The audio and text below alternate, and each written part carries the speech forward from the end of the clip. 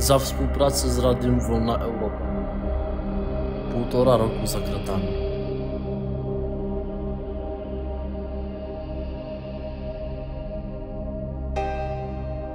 Jego słowa docierały daleko poza mury, niosąc nadzieję. Spotkanie, które może zmienić wszystko, Wańkowicz kontra system. Dwie wizje Polski, jeden stół. W tych oczach historia narodu, w tych słowach jego przyszłość.